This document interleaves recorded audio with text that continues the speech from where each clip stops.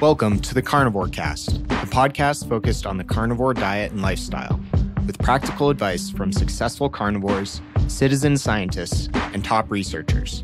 I'm your host, Scott Myslinski, and I'm here to speak with experts and experienced carnivores to get answers to your biggest and meatiest questions while helping you live your best life as a carnivore.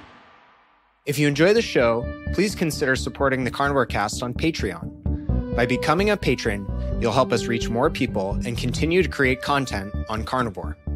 There are also exclusive perks available, such as private Q&As, consultations with me, and more.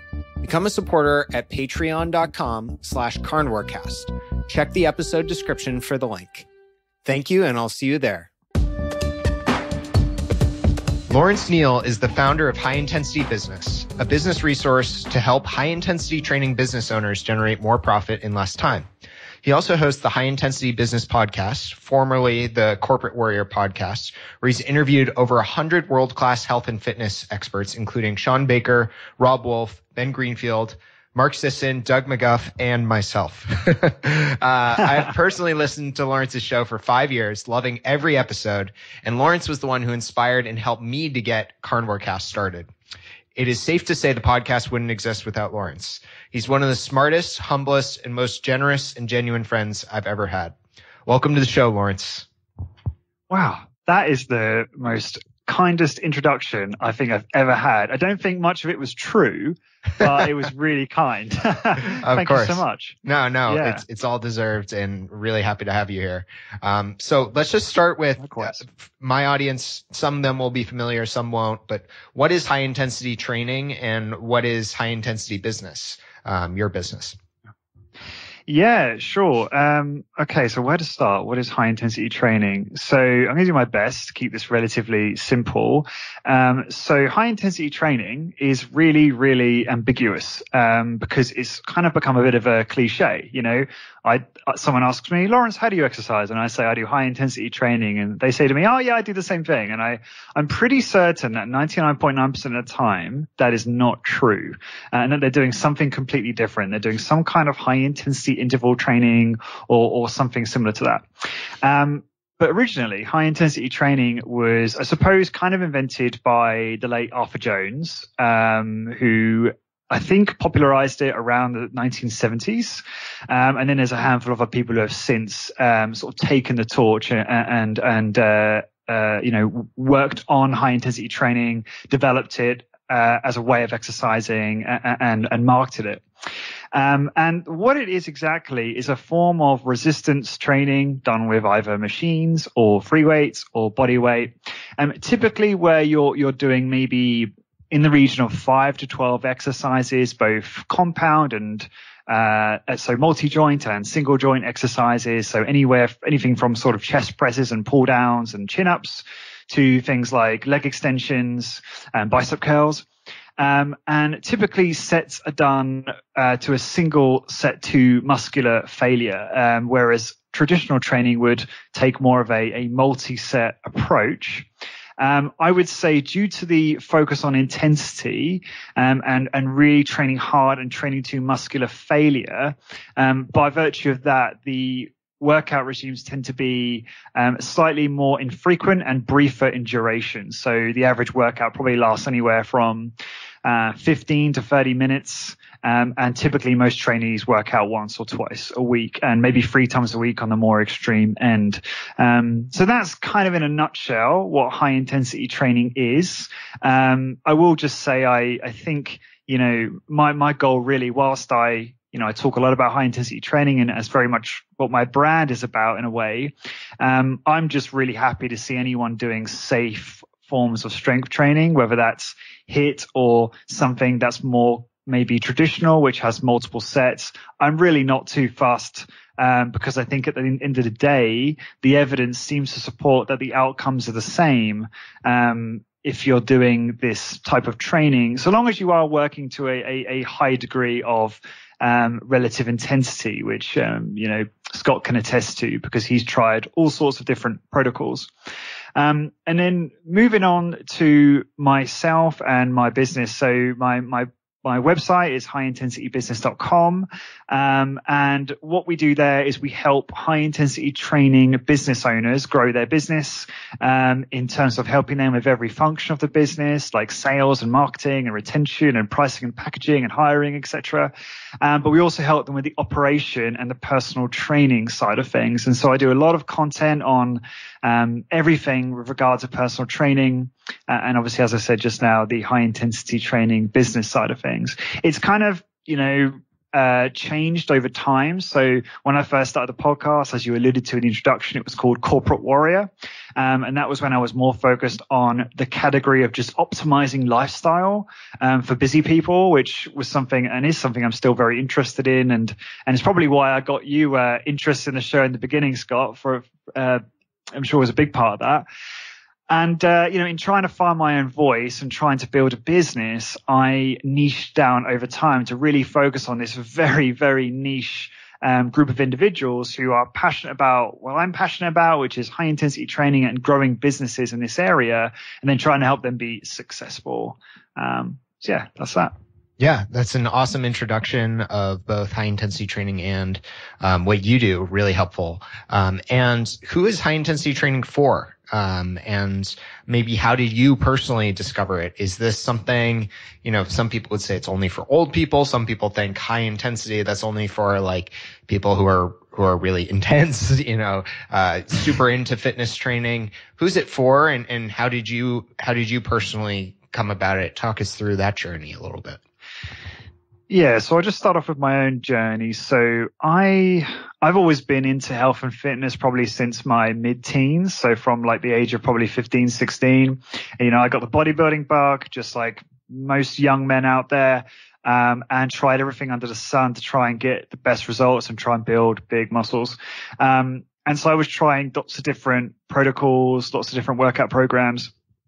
And um, along that journey, I started to move more towards you know, training that just seemed to be more evidence based, that seemed smarter in its design. Um, and the first step in that direction was really picking up the Spartan Health regime, um, which has a bit of a, you know, a hyperbolic title. Um, but basically it was a, a, an ebook based on the training and principles practiced by the Spartans. So it was very romantic and uh, very appealing to me at the you know the young age of 20 i think i was 21 22 and i picked that up. But it was you know it was brief in its training design. Most workouts would be two or three exercises uh, but it was quite frequent. I was training kind of you know six to eight times a week doing various different uh, exercise, be it strength training or grip work or running or basketball. And you know, some people might not call those things exercise and put them in the recreation category, but we're not really here to debate that right now. Um, and uh, and then after that, I it's, it's it's kind of hard to try and pinpoint the moments, isn't it? But I think some of the main events that really led me down the high intensity training rabbit hole were coming across Dr. Doug McGuff's uh, presentation on the 21 convention, which I think you've seen. I've watched it multiple times. I think everyone in here has seen that practically.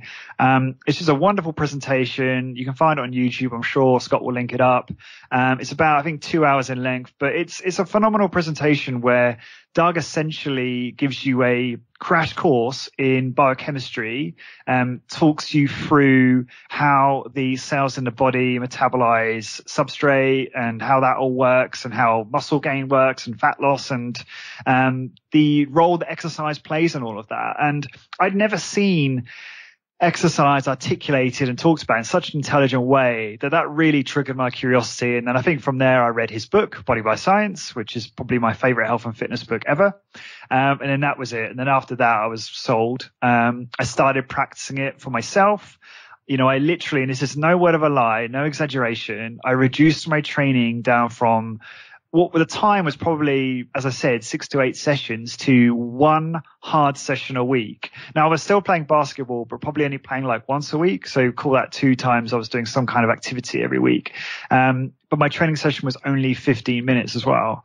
Um, and so I did that and I kept that up and my results were better. You know, I, I put on more muscle mass, not a great deal of muscle because I'd already got probably a lot of my noob gains, as they say, uh, and my genetics. I'm sort of predisposed to more of a, uh, a a, a lighter muscled physique anyway. Um, but I was able to burn body fat, um, probably getting the best body composition, um, for me. Um, and yeah, and I felt great, had high energy. So yeah, massive gain in efficiency, um, from my point of view. And so from then on, it was like I just developed a real passion for it.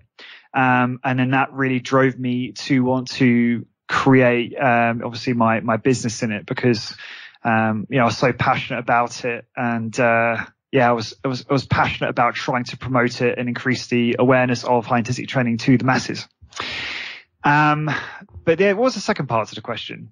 Yeah, no, that's that's a really helpful overview, and I just want to reiterate. I think you've said it twice now, but people so often get confused. They call high intensity interval training, which is something done on a Wingate or a rower or a treadmill or a hill, um, or with something like burpees. They call that hit. um, or they call that high intensity training. What Lawrence is talking about is distinctly different and only involves, you know, using slow, controlled resistance training to failure. Um, and it's high intensity because you go all the way to concentric muscle failure. Um, I just want to like hit that point home one more time, Lawrence, even though you already made it, because um, people so often get that confused. I feel like it it, it bears repeating. Um, the other part of the question was uh, who is high intensity training for?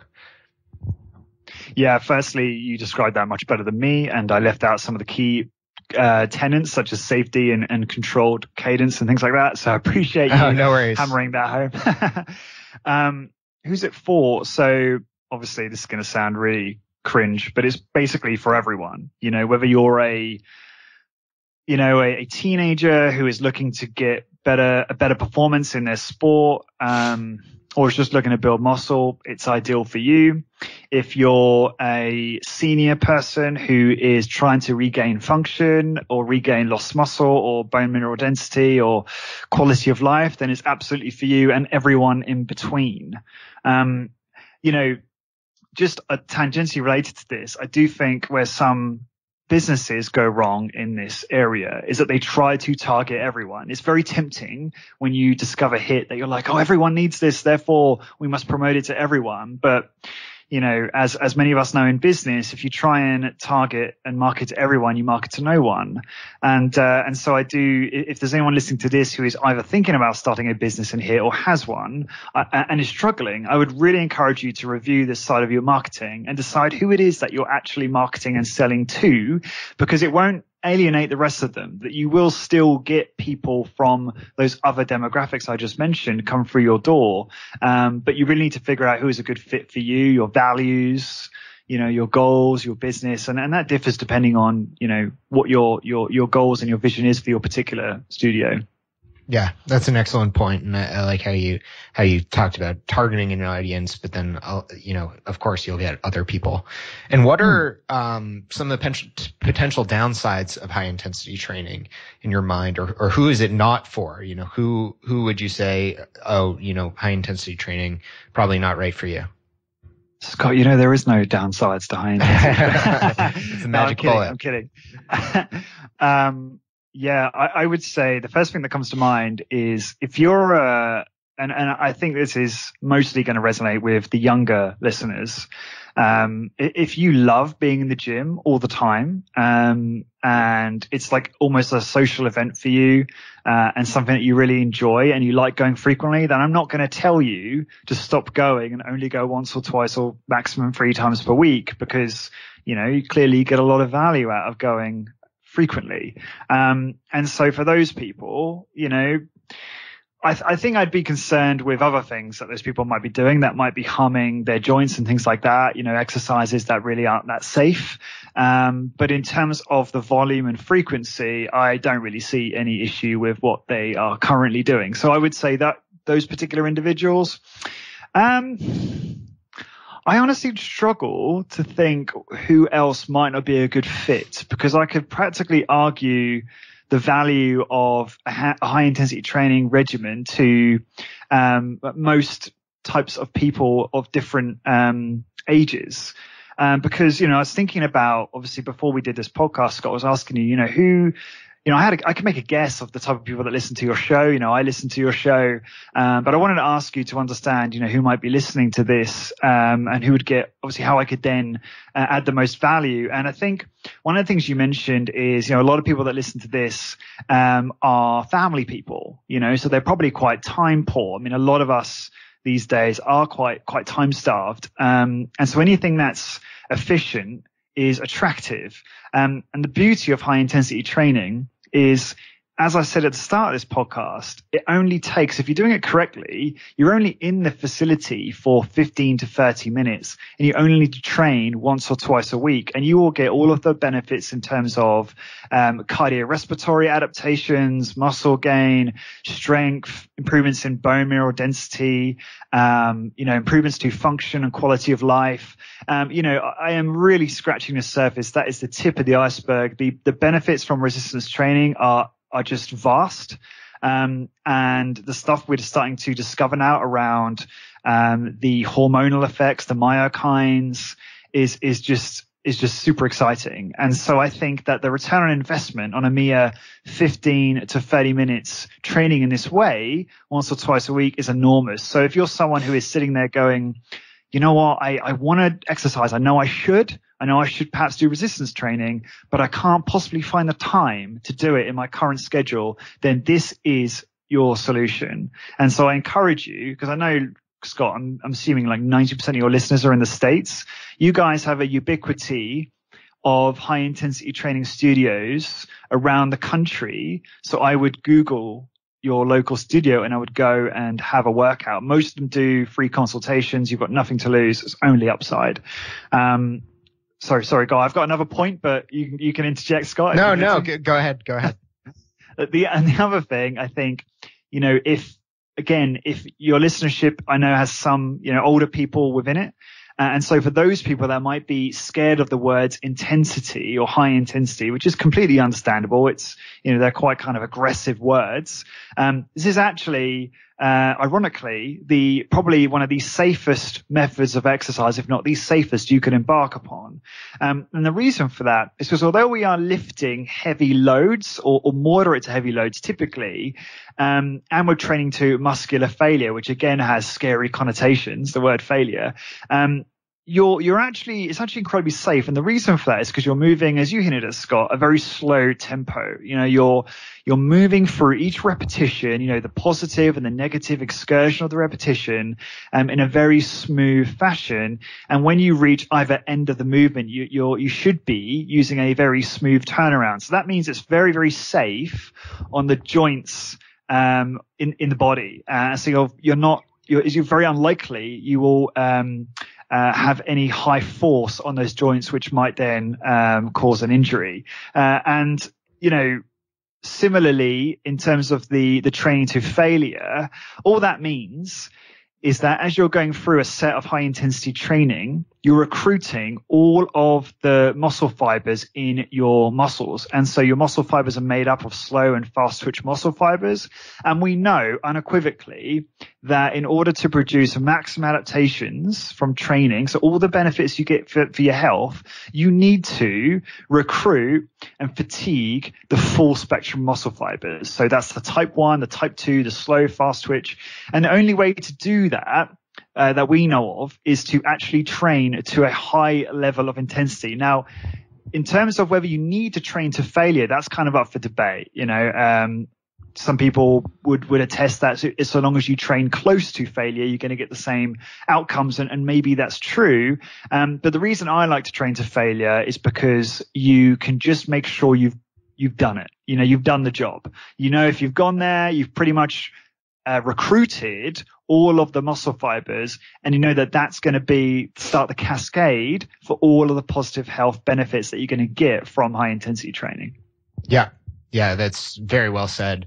And I think for folks who, who are afraid of the safety at all, if you can just picture yourself doing push-ups and keeping doing push-ups until you literally try to push yourself off the ground and you get halfway up, um, and then you, you sort of safely lower yourself back down. That's, that's what going to failure means. Um, so it's not like you're doing something where you're throwing a weight over your head or doing a clean and jerk or, um, you know, a heavy deadlift off the ground or something like that. And then, you know, you fail in the middle of the rep and you injure yourself. No, it's, it's very controlled movements, safe movements where stopping in the middle might cause, you know, some discomfort and some contractions in your muscles, but it's extremely safe. Absolutely. Um, and Lawrence, you've mentioned a lot of them. Doug McGuff, uh, I point people to your podcast, but what are some other resources uh, for people who want to learn more about high intensity training? Maybe check out videos on it or read about it before diving in or, or going to a studio near them, or maybe they don't have one near them. Yeah, uh, I would well, first obviously point them to Doug McGuff's work, Body by Science. I would just look at Doug's uh, YouTube video, which I believe is just Doug McGuff on YouTube. Um, and I think that's a great place to start. Doug has some videos way back in the archive where he talks about high intensity training and the benefits in a very wonderful way. Uh, you know, I don't think there's anyone on the planet who articulates it as well as he does because he really meets people where they are. It's something actually you've been doing really well, Scott, during this uh, during this interview is um, you know, explaining what I'm saying in an even more lay way, which I think is really important because it's so easy to forget that when someone's first coming across this stuff, they don't know as much as you might know. And so they're not going to perhaps understand what you mean when you're talking about it. Um, and I think Doug does that wonderfully well, uh, in a lot of his early videos in, in terms of providing analogy um, to help people understand you know, just what this type of training is doing for them and, and why it's it's probably the best approach out there for most people. Um, so aside from his resources, I'm not going to plug my own because Go I'm ahead. sure we've kind of already done that. But so, maybe some of my early podcasts would be helpful. Yeah. Um, but to be honest, I, I, I would rather not say anything beyond that because I don't want to overwhelm people. Yeah, and I think actually good. that they'll get what they need from Doug's most of Doug's work. I Yeah. think. That's a, that's a great great way to put it. And Yeah. of course, there are many other resources, but yeah, it's good to start small.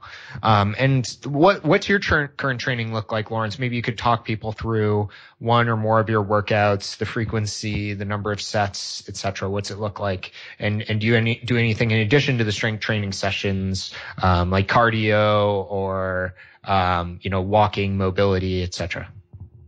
Yeah. So I will tell you. So to make this not boring, I will not tell you what I've been doing recently because I actually injured my shoulder playing basketball. Ah, Um, another basketball injury. Yeah, another one. Exactly. Don't play basketball unless you can earn millions of dollars.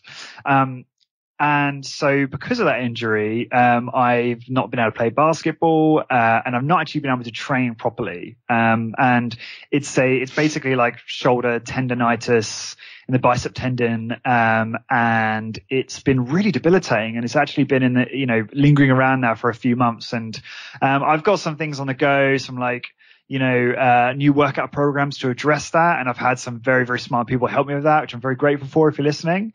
Um, and so hopefully we'll get, we'll heal that and it will be, uh, back to normal soon. However, um, before that happened, uh, I was doing a training program which um, was created for me by uh, my friend and one of my podcast guests, Gary Knight, who's a um, Aussie high intensity trainer.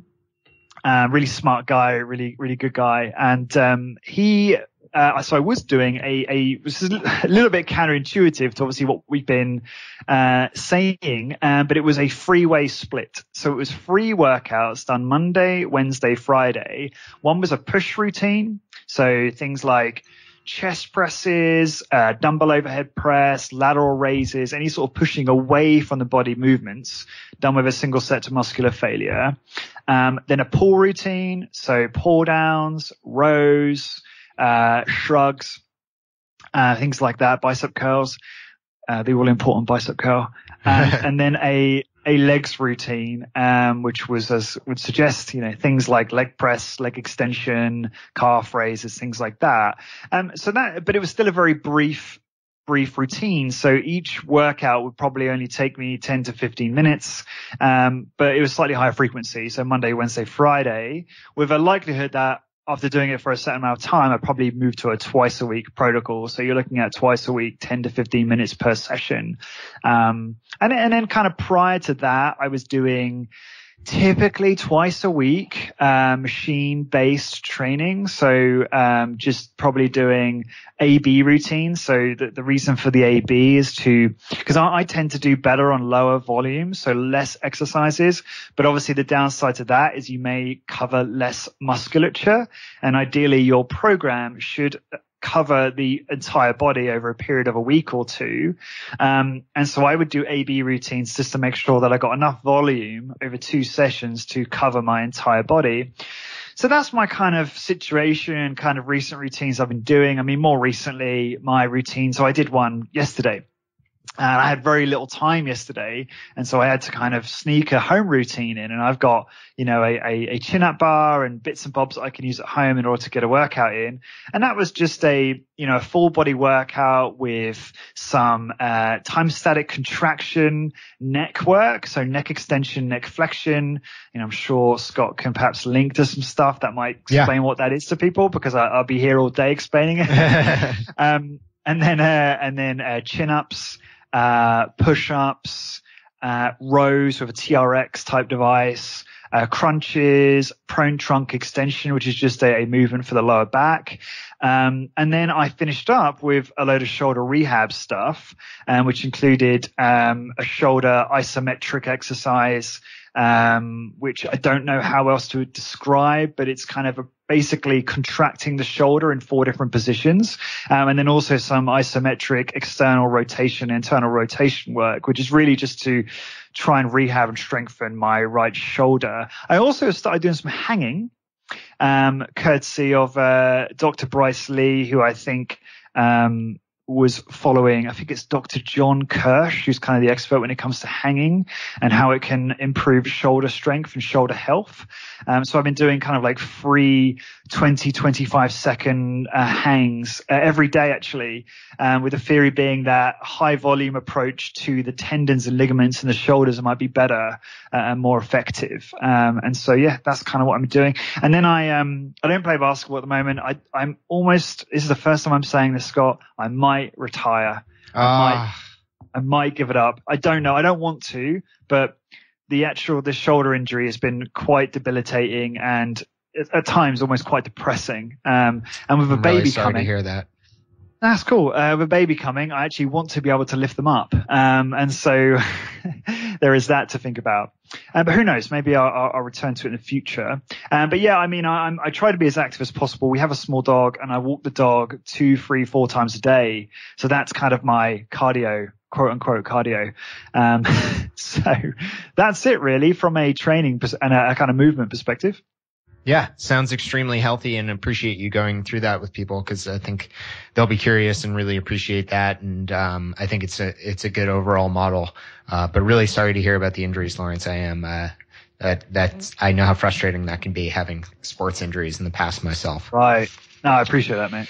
Um, and how about the nutrition side? Um, you know, folks will be curious. You know, I have a lot of folks on here who are fully carnivorous. I have folks on here who are not carnivore. I have folks on here who eat some meat, not a lot of meat. Um, so, you know, don't, don't feel bashful about, about anything. Uh, but, but curious what, you know, your daily eating looks like and maybe how it's evolved over time, um, alongside your training.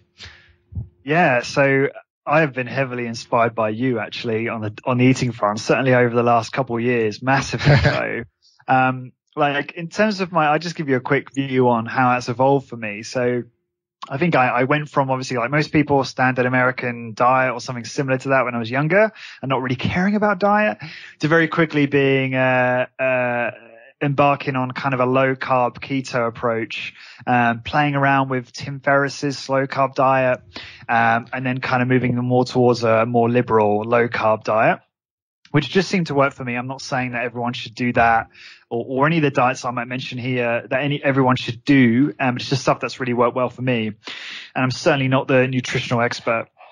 Um, but I would say people that have really been a big influence on me uh, lately are yourself, Scott. Um, you know, in terms of the stuff you've shared on Carnivore Cast, and then I've just I just really like uh, Dr. Paul Saladino. Um, I've got a lot of time for that man. I think um, he's the first person who, well, I shouldn't say that because there's a lot of people you had on your show that have been just awesome.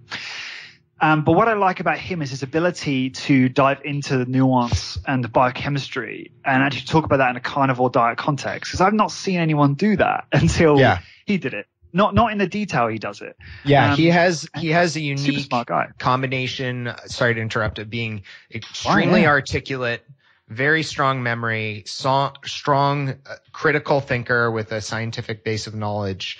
Um, I think it's really and, and, very charismatic, and I think it's rare to have all of those in one package. The trifecta, yeah, yeah, and he's he's also uh, yeah, his recall is is unbelievable. Like I I can't like I listen to old podcasts I do, and I I I I just kick myself because I'm like why didn't I remember that? I asked that same question four times. I mean, I don't know if that's happened to you, Scott, but I asked the same bloody questions, and I it would sound like to some of my guests that I'm not really learning anything because my recall is is not like this guy. Um, but yeah, so he's been enormously influential, um, and so at this point, um, my diet is pretty much. I would say 90, 95% carnivore. You know, typically I'm eating twice a day. Uh, I, I usually, I, at the moment, I skip breakfast. I typically have my first meal around uh, anywhere from kind of 11 to 1 in the afternoon. Um, and then I have my dinner around, I try and have it around 5, 6 p.m. Uh, and that's more because of the whole like circadian rhythm thing and not wanting to eat too late because it really does seem to affect my sleep. Um, and my meals usually consist of, I eat quite a lot of ground meat, um, and ribeye, egg yolks, um, liver, I eat quite a lot of liver now. Um, I tend to season it all with the, the sea salt that you guys typically recommend. I think it's the Redmond sea salt. Yep. Um, so I use that. Uh, but I do deviate. I do have, you know, if the missus wants to cook a, a vegetable bake thing, I'm going to eat it. Um, you know, I might have the odd chocolate bar like once a week. I don't tend to have cheat days anymore. I used to have these days where I went absolutely bonkers and eat loads of crap. Um, but I do not think that they're very intelligent things to do anymore. Uh, but I will, you know, if let's say, you know, a Saturday for a typical Saturday might be, a, I might, I might fast for practically the entire day. I might make sure I get some liver or some kind of highly nutritious food in there, but then I might go out for dinner with a friend or with, you know, my fiance, and then I'm quite liberal and I'll just eat, you know, whatever's going and.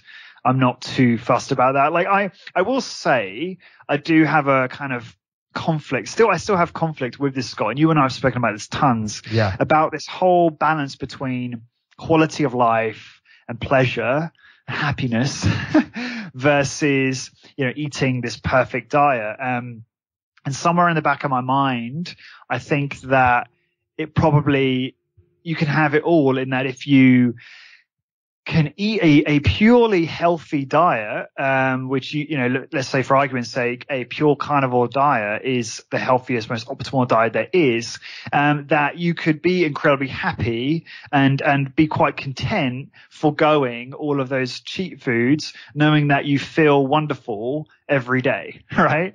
Um, and certainly, you know, I see that in you, Scott. I see that in my friend Art Lichtfoot over in uh, in uh, the Netherlands, uh, and and a couple of other guys, Mark Strauss, another one, where you guys just to me seem to have this awesome discipline, and you inspire me. And where the way I see it is, as I go through my own nutritional journey, I'm sort of trying to get to where you are, but I'm not quite there yet. But I'm making improvements every single day. Yeah. Um, you know, I was addicted, for instance, dark chocolate was my thing, right? So I was having dark chocolate once or twice a day, uh, quite a lot of it, you know, um, and I have just got rid of it completely and it, I've, I've had no cravings for it.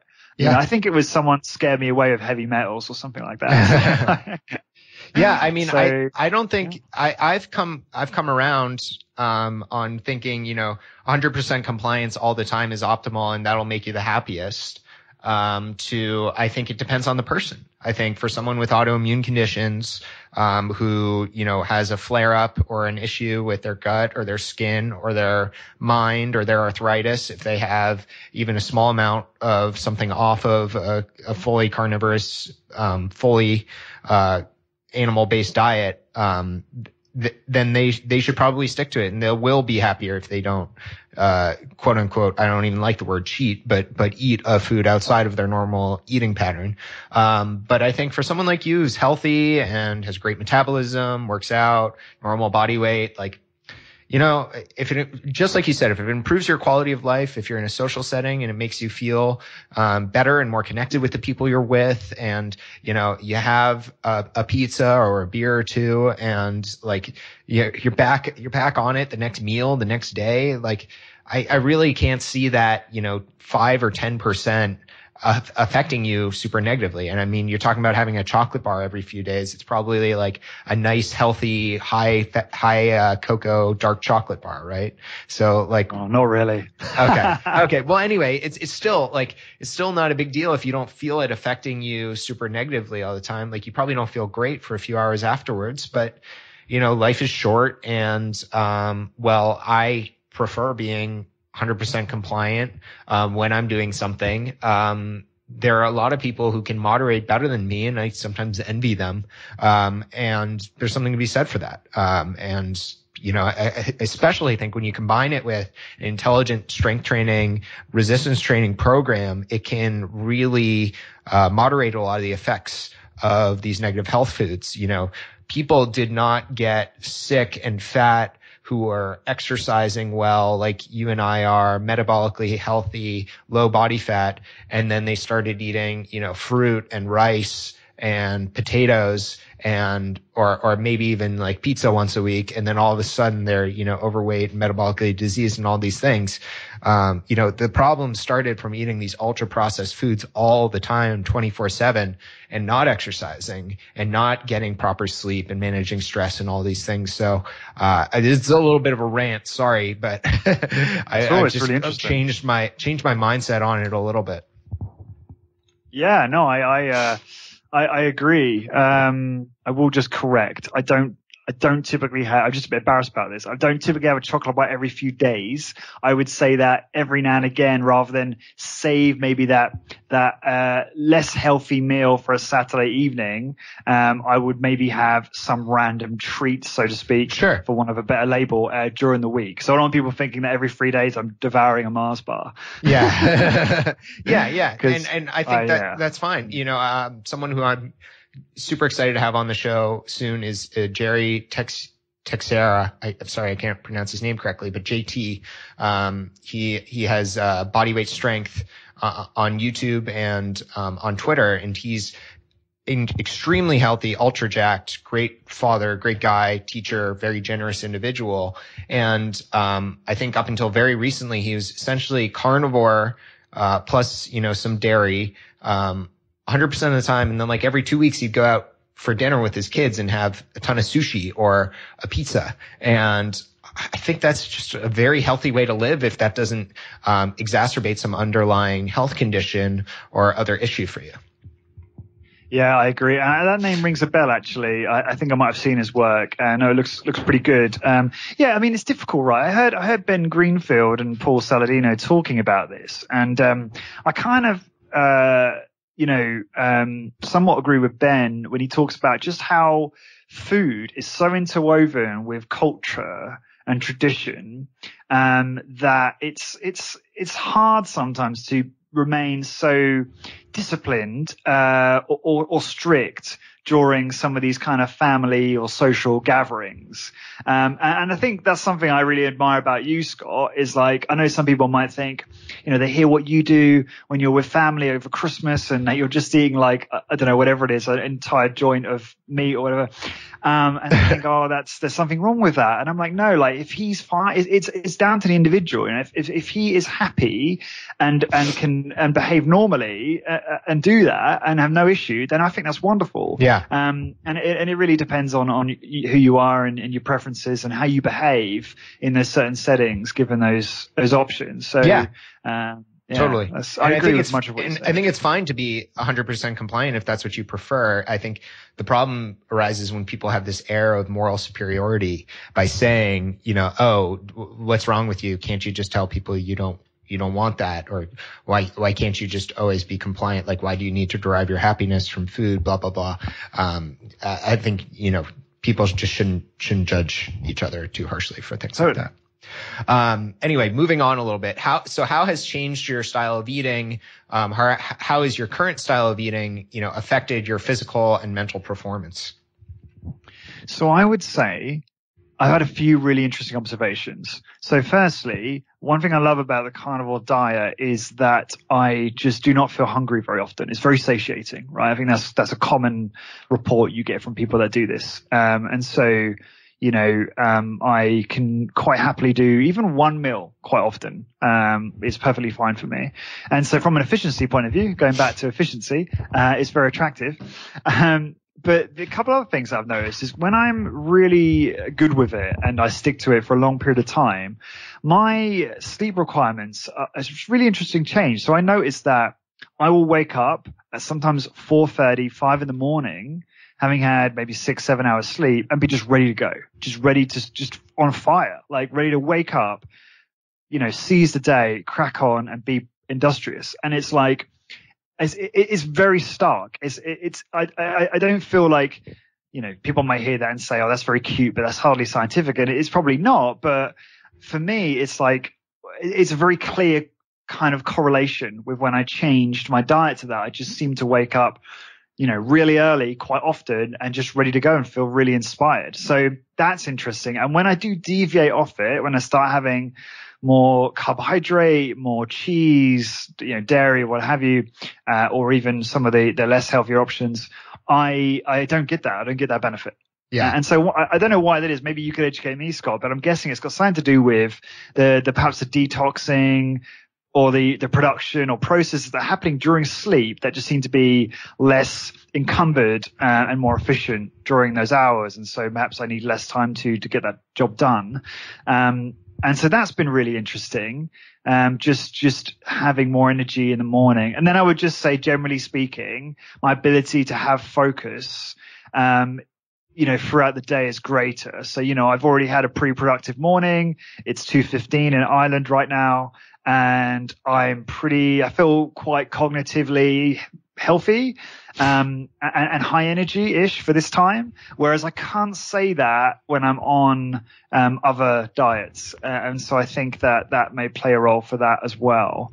Um, from a body composition point of view, yeah, I mean I'm effortlessly able to stay around 10% body fat, um, which I wasn't surprised about. Uh, you know that that would be one of the outcomes. So yeah, I mean from a a uh, muscle mass perspective, um, I I haven't checked it in probably a month or so, um, but my I, I, would say for me it would seem that my uh, that my muscle growth is very very slow now where I am in my training. I mean we we could debate that at length, Scott, because I know that you've made changes that have been really positive for you in that regard. Um, but uh, I'm not sure if, if for me, um, it's made a big difference from a muscle gain perspective. But then you could argue, well, if I did 100% carnivore, very strict, much like you, Scott, for a long period of time, would I see a big benefit in terms of the aesthetic and, you know, my, my amount of muscle mass? Possibly. Um, so yeah, who knows? Maybe we'll uh, experiment more with that in the future. Yeah, yeah, super interesting, and, and I've experienced a lot of the same benefits myself. But uh, always good to hear it, hear from you, and and thanks again for the kind words regarding in, inspiring you. You know, if anything, all I've done is is repackage and regurgitate what much smarter people have said. Um, and what challenges, Lawrence, are you trying to solve both personally right now, and and same for professionally? You know, what things are you working on? What are you looking forward to? Yeah, I think personally, um, I'm trying to rehab this shoulder. Is my is my real focus right now. Is just trying to live a lifestyle you know follow certain movement patterns that just don't uh don't impact that recovery in a negative way uh, and then train appropriately. So that's really my focus um, personally in my own training. You know, I've got a baby coming in November, so that's two months away. So I'm under a fair bit of pressure to deliver uh, financially and in terms of you know being there and all of that. I've got some very exciting professional projects happening. Obviously, I've got very much focused on the HIT business membership and um, which is which is my my product behind the high intensity business blog and podcast where i help people privately grow their high intensity training business um, with proven blueprints that I've put together with the best industry, people like Luke Carlson and Paddy Durrell and these people who have really nailed the systems that help build a successful business. Um, and we also have monthly Q and A's in there where you get to ask these people questions live every single month. Uh, and there's a community of high caliber, high intensity training business owners and trainers and scientists who are there to help each other within the forum and help you with your business and your training.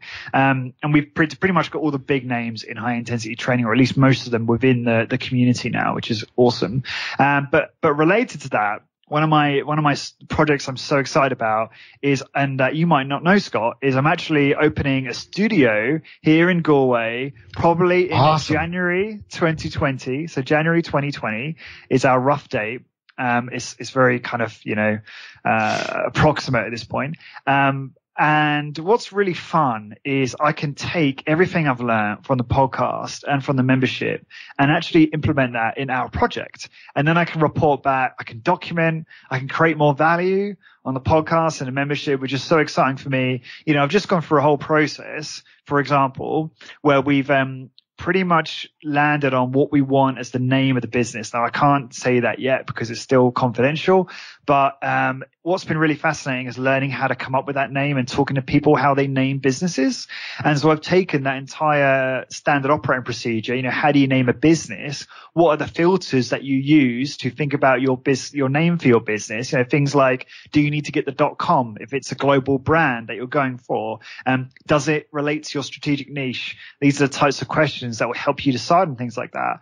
Um, and so being able to actually map that out and put it in the membership as an SOP, as a here is a checklist for people, is so useful to the members, right? Because if you're thinking about starting a studio, and you're like, oh, what do I name it? I have no idea. Here you go. Here's a you know a solution for that. Um, so it's it's what I'm trying to say is all of the projects that I'm working on are all very kind of symbiotic. They all kind of feed into and help one another, um, which just gives me an enormous amount of motivation. And so professionally, uh, the two main projects for me are, are really uh, growing the membership, um, producing great content and value in there, starting the studio, but then continuing with the high intensity business podcast. And, you know, I produce two episodes at the moment every single week um, on the subjects of personal training and also uh, growing your your high intensity training or, or personal training studio. Um, so yeah, loving loving it, loving life. That's awesome. It all it sounds like you've done a beautiful job of integrating, you know, your passions, work, life, um, and also multiple businesses that interrelate and benefit from one each other, one another, which which I really respect, um, and and I'm super glad for you. Um, and so uh, uh, I'll link to everything in the show notes at carnivorecast.com, Lawrence. But where can people find out more about you and, and what you're up to? I would just send them to highintensitybusiness.com. Great. You go there, you'll be able to go to the contact button and you can send me an email. My email address is there. So yeah, happy to help anyone who's got questions about this way of training or anything else we talked about. Awesome thank you so much for your time today, Lawrence. It's been a real pleasure have you on. I think you've delivered a ton of value for the listeners, um, and always great to talk to you. Thank you so much, Scott. It's been an honor. Thank you. If you enjoy the show, please consider supporting the Carnivore Cast on Patreon. By becoming a patron, you'll help us reach more people and continue to create content on carnivore. There are also exclusive perks available, such as private Q&As, consultations with me, and more. Become a supporter at patreon.com slash carnivorecast. Check the episode description for the link. Thank you, and I'll see you there. Thank you for listening to this episode of the Carnivore Cast. If you enjoyed this episode, please review on iTunes. It really helps us out. And share it with a friend. What questions would you like answered, or who would you like to hear from in the carnivore research community? You can find me on Twitter, Instagram, and Facebook at CarnivoreCast or go to carnivorecast.com. You can also email me at info at carnivorecast.com. I'd love to hear from you. Until next time, keep it carnivore.